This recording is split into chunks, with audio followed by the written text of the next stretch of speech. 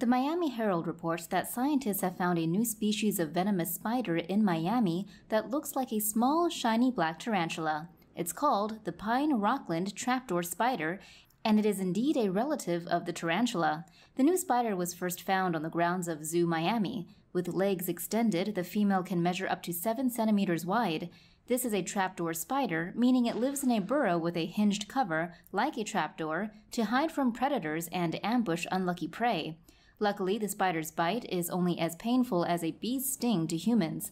The spiders themselves can be eaten by birds and they can be targeted by wasps who inject wasp eggs into them, which would later hatch as larvae and then devour the spider from the inside.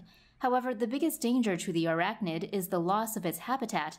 The first specimen was found in critically endangered pine rockland forest surrounding Zoo Miami.